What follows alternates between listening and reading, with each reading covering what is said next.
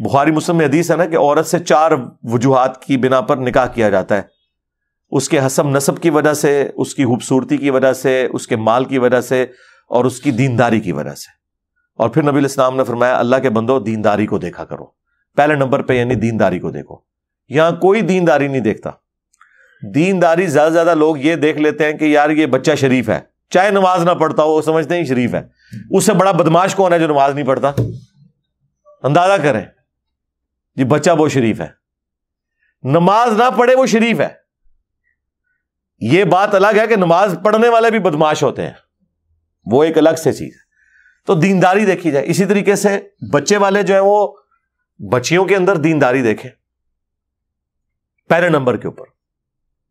तालीम देखें, तरबियत वाला मामला देखें, और उसके बाद लड़की से पहले लड़की की मांग को देखें कि वो कैसा शुरू कर रही है अपने खामंद के साथ। क्योंकि ये चीज़ें फिर आगे ट्रांसफ़र होती हैं। तो ये सारी वो चीज़ें जो देखना ज़रूरी है। बाकी ये मैं मानता हूँ कि ना सिर्फ़ निकाह के मामला बल्कि मरने के मौका के ऊपर भी जो रसूमात हैं वो इतनी ज़्यादा हो चुकी हैं कि मरना भी एक बंदे के लिए मुश्किल हो गया।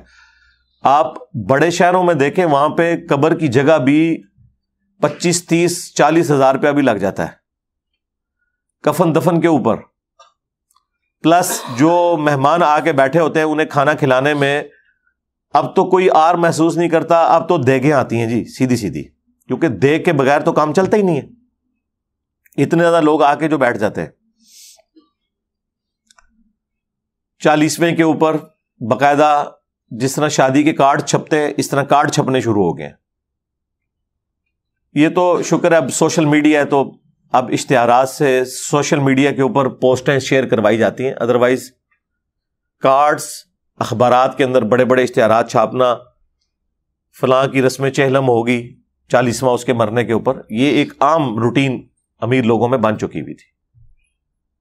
तो ये सारे के सारे मामला हकीकत बात है कि बहुत ज़्यादा अलार्मिंग है। ये हमारे माशरे की ओवरऑल खराबी हैं। जिनके ऊपर हम बात तो करते हैं, लेकिन जब अपने ऊपर बारी आती है तो देखने में आया कि बड़े बड़े दीनदार लोगों का वज़ू भी टूट जाता है वो भी कहते हैं कि जी अगर हमने ये रसूमात ना की तो हमारे रिश्तेदार हमारे मोहल्लेदार कहेंगे देखो इसे अपने बाप से माँ से प्यार ही नहीं है।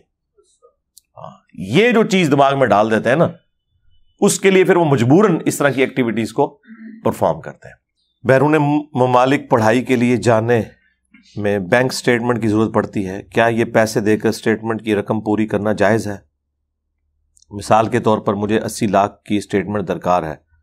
तो क्या मैं छः लाख देकर